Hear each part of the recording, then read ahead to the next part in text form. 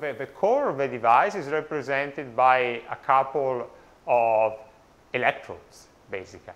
And to have it working, we are using two uh, materials, two molecules. For the anode, we are using riboflavin, which is a vitamin that we can find in almonds, for example. And for the cathode, we are using quercetin. A quercetin is sold as a food supplement and can be found uh, in capers, for example.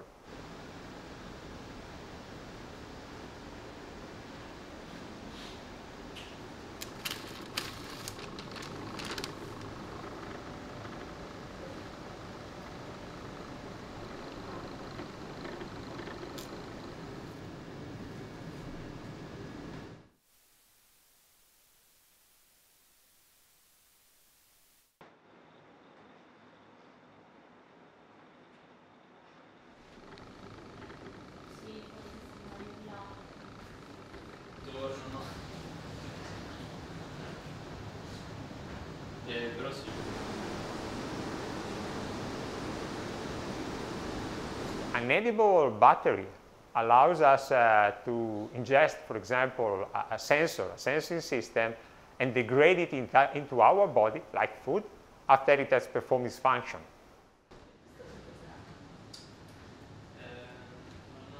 Fatto gli